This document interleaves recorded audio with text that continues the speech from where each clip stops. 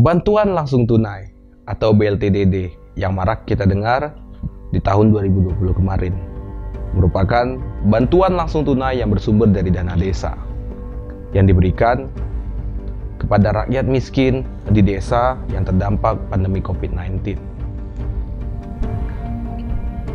Dan bantuan langsung tunai ini sendiri bebas dari pajak dan juga tidak ada boleh yang namanya pemotongan atau penyunatan baik dari kepala desa, perangkat desa maupun oknum lain.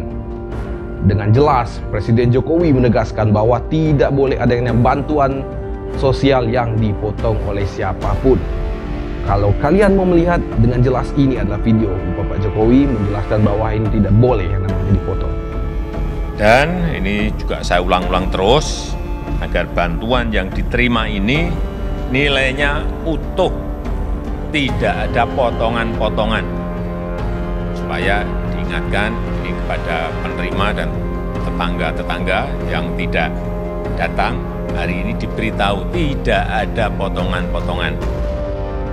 Dan kali ini, tim investigasi Lebong TV hadir untuk menelusuri dugaan pemotongan atau penyunatan BLTDD di salah satu desa. Dan kali ini, tim Lebong TV sudah mewawancari beberapa narasumber yang menjadi saksi bahwa mereka mengaku kalau BLTDD mereka itu dipotong. Dan seperti inilah investigasi Lebong TV. Waktu oh, doa sorry emang gau. Biasa magau ku oh, bi nana. Do, nana. May umak kami, nana. Biyan do, biyan dano gyan o. KTP, nana. Biyan do, na nana. Katukal warga kami, na nana. Do, maki masker o, nana. na naku. Diyaw ko langsung lalami ni, o. Diyaw cuma ada sapu di simlui caci, o. Isa emo. Do, kemelok dia, nana. Soto, ya untuk tun mangi mangi tunda o. Lalu lah ikhlas ya ikhlas ana sih di mau langsung.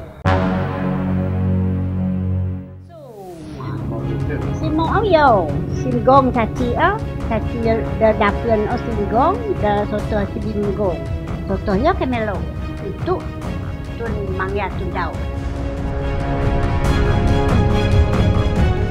Baik, di sini saya mewakili korban yaitu korban pemotongan BLT. Pada waktu itu BLT lanjutan ini nilainya 300.000 per per bulan.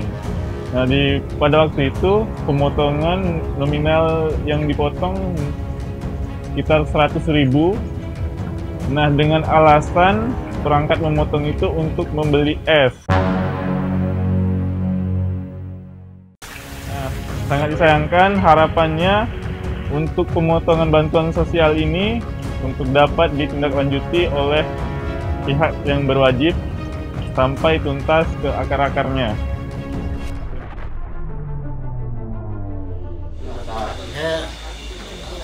xin một tùng to beratan kalau mau puluh nyoba một thằng nó bắt bắt tay chỉ là mỗi này tu có đồng hồ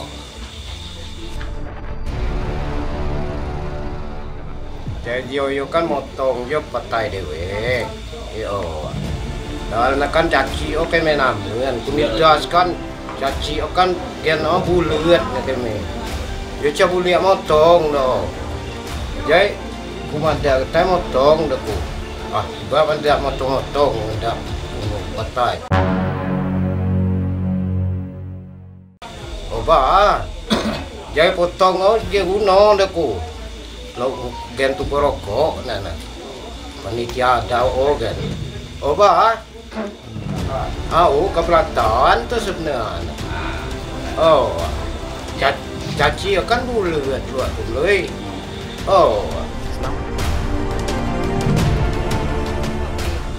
na frai mai de bara ba de o be mo ja chi o sim nei sim anda lo mo tong sotori bao lak mo da ke me keberatan bang keberatan do o frai mai eh tukang nei ja chi no kade sampun kade kade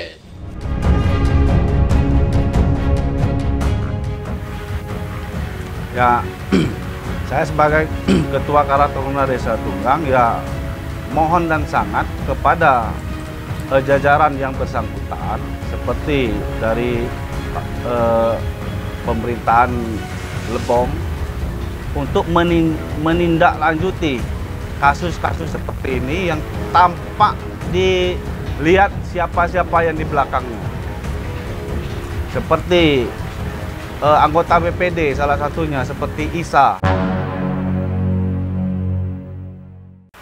Isa yang termasuk yang sudah pungli. Namanya itu sudah memotong eh, uang BLT uang bantuan untuk masyarakat seperti BLT itu namanya pungli oknumnya Isa itu mohon dan sangat kami mohon kepada jajaran pemerintah untuk menindak menindaklanjuti kasus